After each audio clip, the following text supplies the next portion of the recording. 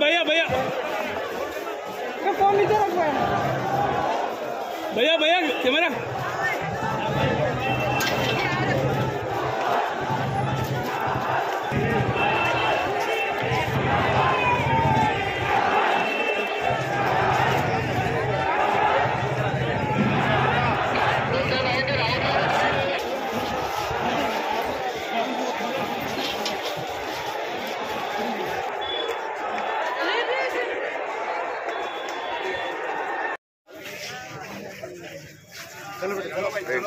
के होता है पब्लिक जमा हो रही है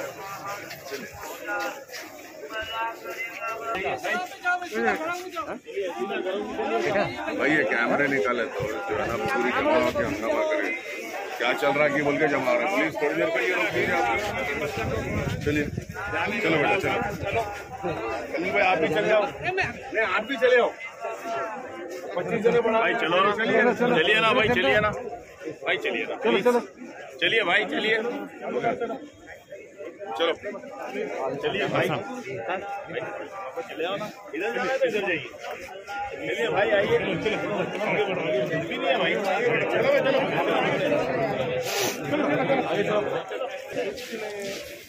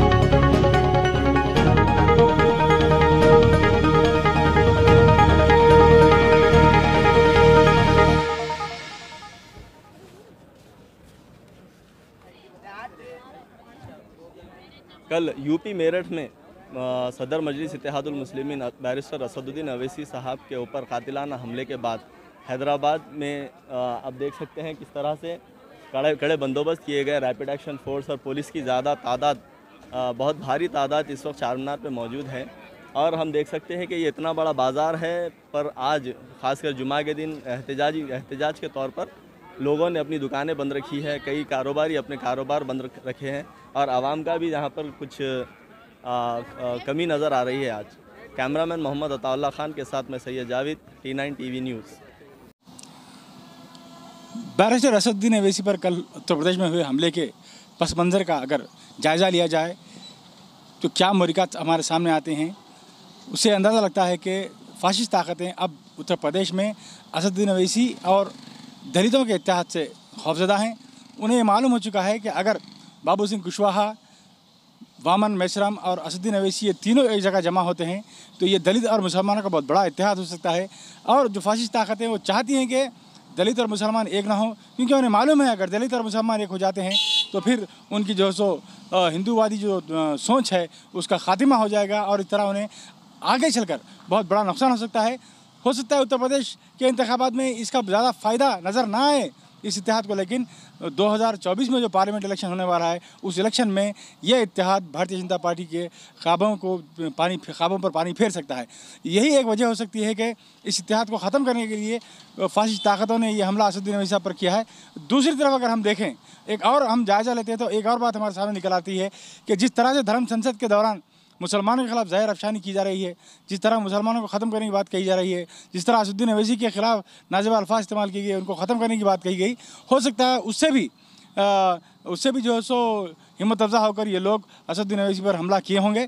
अगर ये दोनों बातें भी सच दोनों में से कोई एक बात भी सच होकर निकल कर आती है तो ये मुल्क की जमहूरियत के लिए काफ़ी ख़तरनाक है और इसमें फ़िरका वाराना हम आहंगी जो इस मुल्क में है ये ये फ़िरका वाराना हम आहंगी भी ख़तरे में पड़ सकती है।